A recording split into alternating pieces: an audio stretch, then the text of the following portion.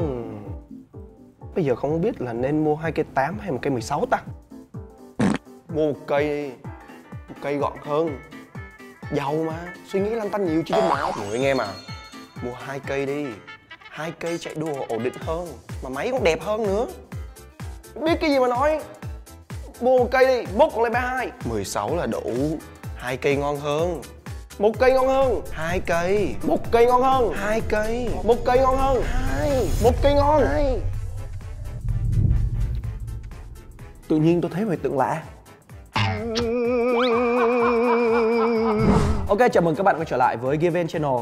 Cái vấn đề về dual channel RAM hay là single channel RAM ấy thì chắc hẳn nó cũng không còn mới lạ gì so với nhiều bạn ở đây được không? Tuy nhiên thì mình đang thấy có rất nhiều bạn vẫn đang còn khá là mơ hồ về những khái niệm này cũng như là đang một cơ số bạn đang hiểu nhầm về nó. Vậy thì trong video lần này anh em hãy cùng mình đi tìm hiểu xem là dual channel RAM là gì, khác biệt như thế nào so với single channel RAM và lợi ích nó mang lại ra sao. Hãy cùng mình đi kiểm chứng điều đó nhanh nhé.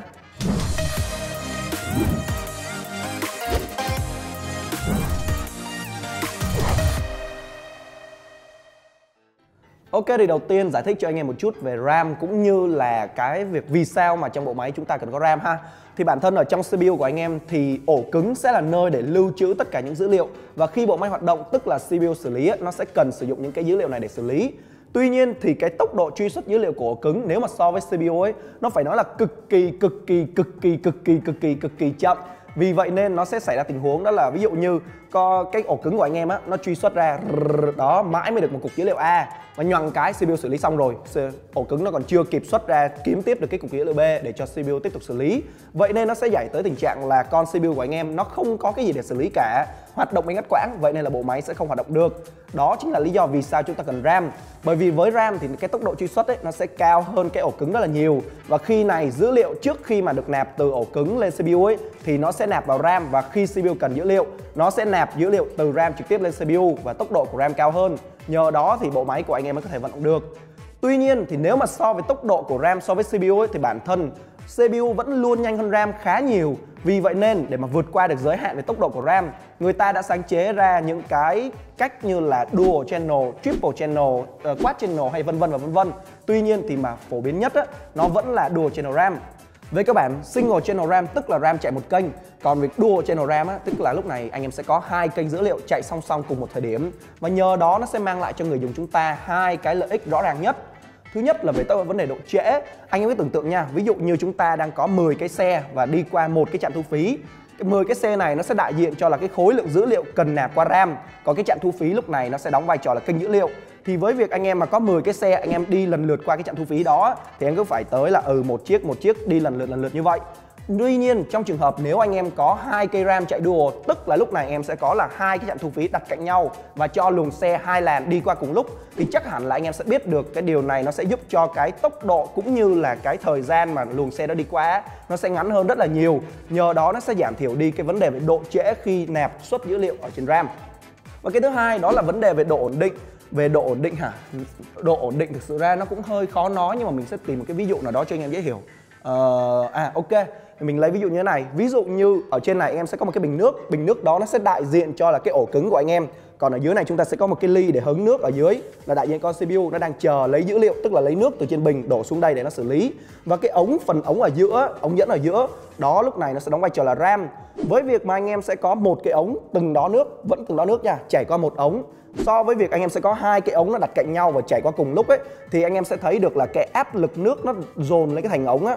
Thì việc mà anh em sẽ có hai cái ống như vậy, nó sẽ giúp làm giảm đi cái áp lực trên từng ống và nhờ đó nó cũng sẽ làm giảm thiểu đi cái tình trạng lỗi nè, cũng như là giúp cho anh em ổn định trong suốt quá trình hoạt động, tránh cái tình trạng giống như kiểu là ví dụ anh em đang render một cái project nặng chẳng hạn, đùng cái đùng xanh.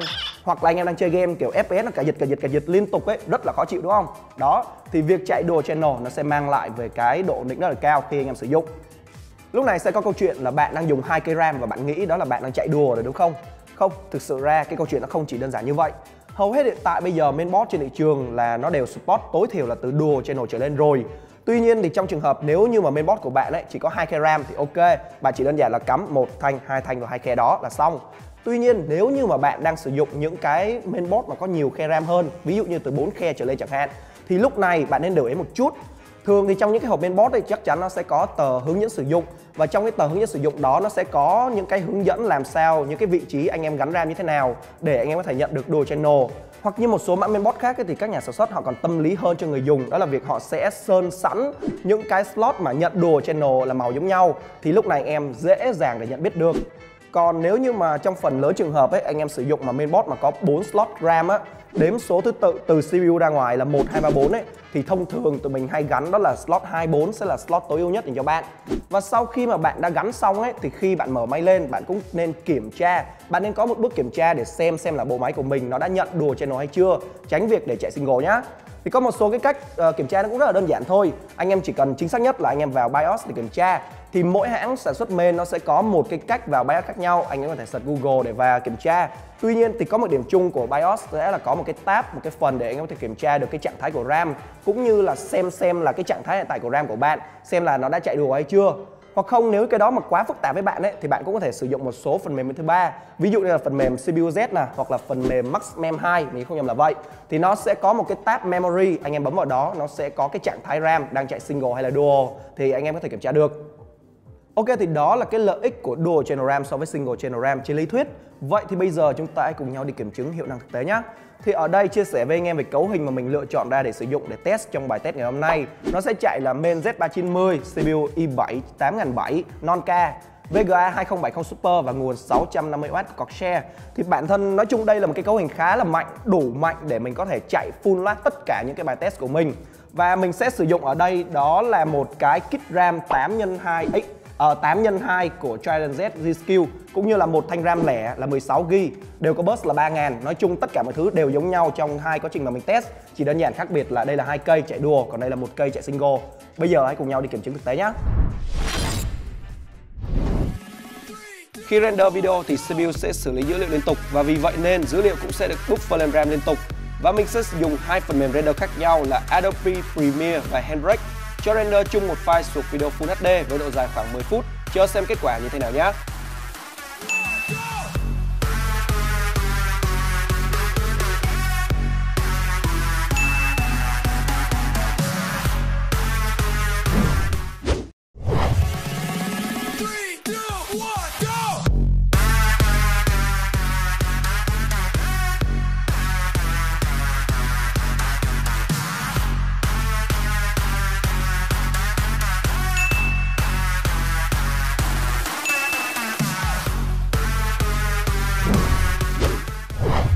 Nhưng mà ở đây tôi biết là sẽ có nhiều anh em thích chơi game hơn đúng không?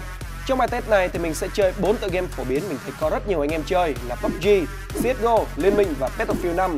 Theo như mình nhận thấy thì đối với hầu hết các tựa game, mức FPS chênh lệch nhau không quá nhiều. Tuy nhiên các bạn hãy để ý dòng frame time. Cái này nó thể hiện độ ổn định của mức FPS trong game. Càng ít dao động có nghĩa là càng ổn định. Và kết quả như anh em cũng thấy rồi đấy, Dual Channel RAM ổn định hơn đáng kể so với single.